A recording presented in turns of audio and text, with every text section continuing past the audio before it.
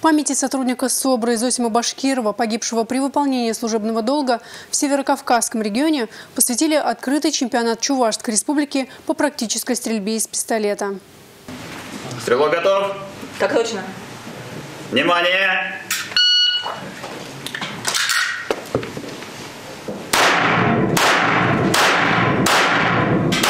Метко и быстро. Поблажек на соревнованиях силовиков не бывает. Конкуренция на профессиональном уровне. За первенство боролись 9 команд различных ведомств. Росгвардии, МВД, МЧС, службы исполнения наказаний и судебных приставов. Три упражнения для командного зачета. Дуэльная стрельба и состязания в индивидуальной программе. По сумме набранных очков в общекомандном зачете на пьедестал поднялись команды МВД по Чуваши, СОБРа, отдела Росгвардии, УФТИН. В дуэльной стрельбе лучшими стали сотрудники СОБРа и МВД.